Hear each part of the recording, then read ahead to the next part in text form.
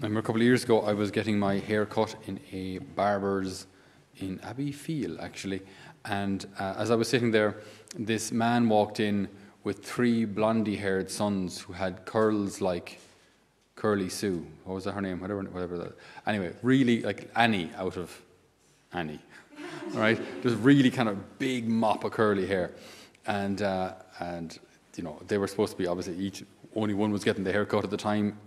In the meantime, the others were running around and taking hair souvenirs and trying to burn it or whatever it was. And, and the father was there, lads, he's like, lads, look, this was November, must be November. And he said, lads, would you just, look, sit down, sit down, sit down, sit, you, you too, sit, sit, you, sit, sit, sit. And he said, lads, sit down or you're getting coal for Christmas. And the lads went, coal? Cool. and it was just, I, I, I found it hilarious, actually, as I was watching this whole spectacle, you know. And it's like these lads, uh, they'd be happy to play with anything. Anything. You know, mud, dirt, hair, bits of a brush, each other's foot, feet, you know, anything, anything. They could play with anything. And it's interesting how when you're kind of at peace with yourself, you know, when you're, when you're happy within yourself, you can be happy with anything. And you can be happy with nothing. When you're not at peace within yourself, you will not be happy with anything, and you will always feel like you've nothing. It's just very interesting, like how how it works. We see today, like we've never, in living memory, we have never been as affluent as we are in Ireland now. We've never had things so easy, right? Every single one of your houses has indoor plumbing, right? There's a lot of your grandparents who will remember a time when the toilet was a separate little room an outhouse, which we, won't even talk about the number of spiders that were in there, right? Spiders and rats and absolutely, right? And that was normal. I remember I was down my, my summer holidays there, um, place down in Cork, and the, the owner of the house was telling me that he remembers in the 60s when they got electricity. Imagine, imagine actually living. That's not, not, just Wi-Fi. That means no lights. I, I, you know, once the sun goes down, and in winter, of course, that's about half four. It's like you're trim, trimming your lantern, right? Light, your light comes from this, and once the candles or the oil is gone, it's pitch dark. You wouldn't see your hand in front of your face until the sun comes up. Every day. That's within living memory. Okay? So we've never had things as comfortable, we've never had things as easy. A selection of channels, you don't even have to wait for channels. Go straight to YouTube, look, watch whatever you want. Whatever it's never been so easy. So why are we so empty? Why? It just it makes no sense. Well, it makes no sense if we think that the more stuff we have, the happier we are. Because then if we have all of this stuff and mail order clothes and all sorts of stuff, uh, we've just rooms full of stuff that we have to actually now tidy because we have so much stuff. Uh, why aren't why isn't our happiness increasing proportionally? Why isn't all of this stuff actually making us happy? And why is it that you could go to a, a a poorer country where they have a little ball made up of a roll of clothes with string around it and a big beaming smile to them as they kick that yoke around the place on a dusty field. They're not supposed to be happy because they haven't got money. And we're supposed to be happy because we've got money. It doesn't work because it, it, it's, it's not it really it's no matter how we're, we're told this a million times and uh, I don't know how long it'll, it'll take how many times we have to hear it before we actually believe it but money doesn't make us happy and comfort doesn't actually make us happy either I know we all we all like uh, hot chocolate in the evening with our feet up in front of a roaring fire, checking out your Facebook yogis. Uh, that it's, it, it's, it's comfortable, it's nice, it's not, it's not bad, it's not, it's, there's nothing wrong with it. But why is it, though, that all of those things do not, in the end, do not satisfy us? We heard in the beginning of our reading today from the God who is, who was, and who is to come. It's, it's, it's, it's a short little expression, but when we talk about God, He's like, he, it's, it's not that he, he was from the beginning, he simply always was. He is being itself, and he always will be. And our goal then, uh, this, this innate desire in our hearts, this insatiable desire in our hearts, is to be with Him.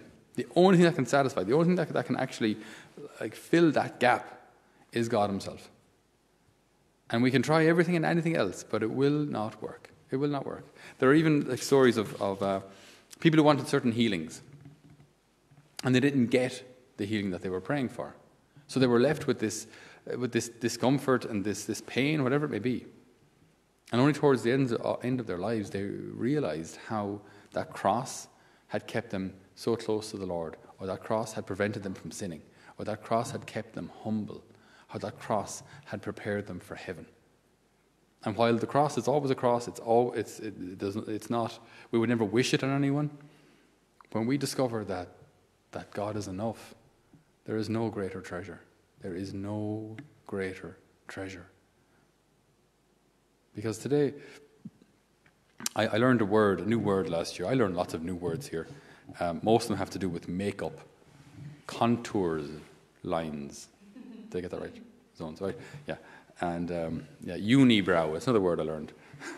okay. But um, one of the words I learned was the word meh.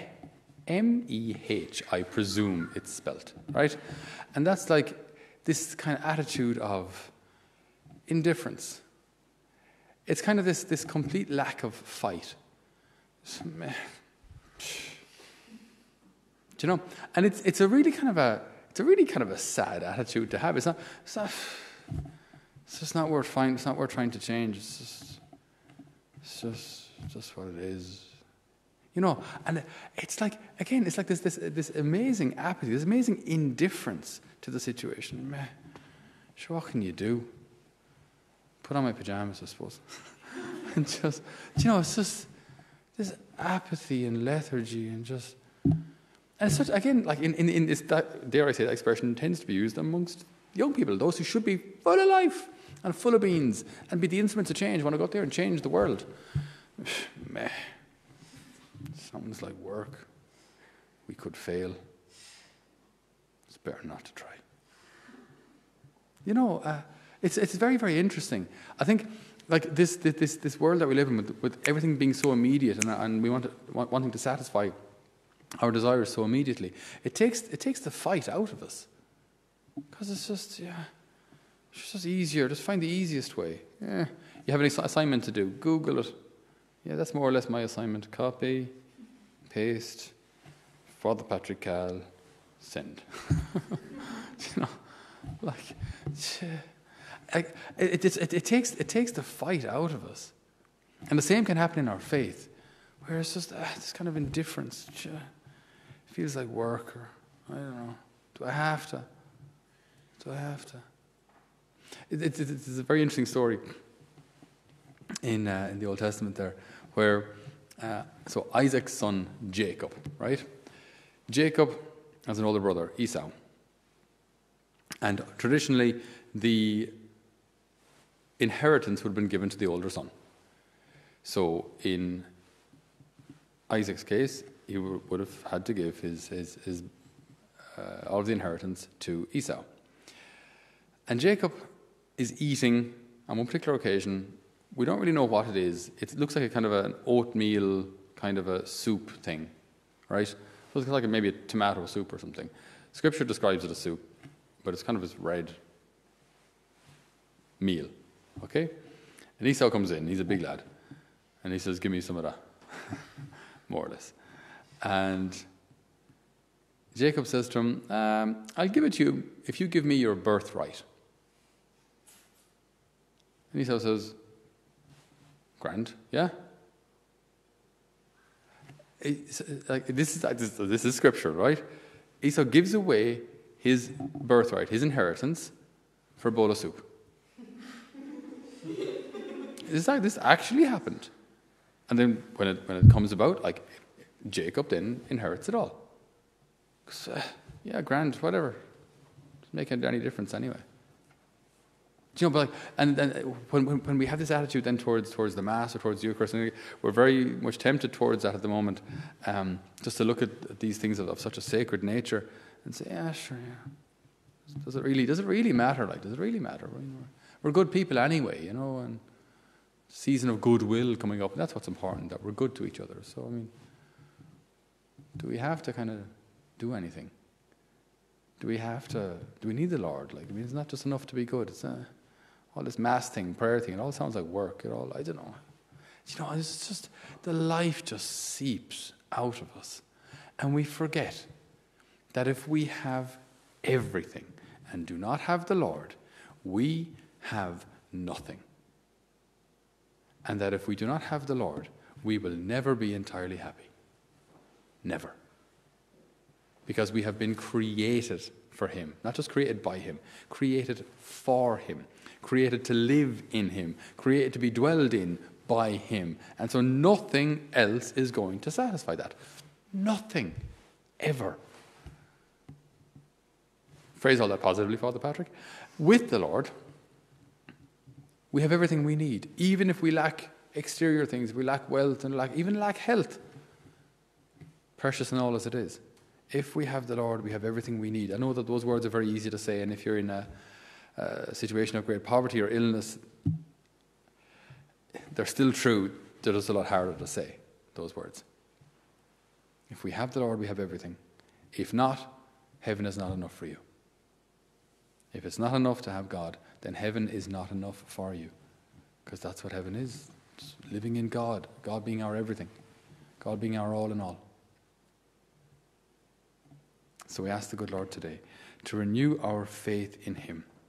That when He seems to be far away or when He seems uh, somewhat distant, that we, like the blind man in Jericho, that we call out to Him. And if He doesn't answer, we call out all the louder.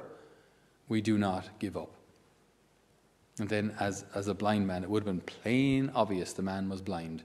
He would have, wouldn't have known exactly where to look, because he wouldn't know exactly where Jesus was until someone turned him the right direction. Or maybe when he heard his voice, he'd know more or less where he is, but he wouldn't be able to look you in the face because he might know exactly where the face is. It was plain obvious he was blind. And Jesus says to him, What do you want me to do for you? What do you want me to do? Because maybe, maybe the most important thing in his heart wasn't eyesight. What do you want me to do for you? Sir, he replied, Let me see again. We pray for this gift of sight, but of, of sight for the divine things for each one of us, for our whole Catholic Church, for our church leaders, that we may see these divine things as our greatest treasures, that we may see the good Lord as our greatest and ultimately only source of happiness. Amen.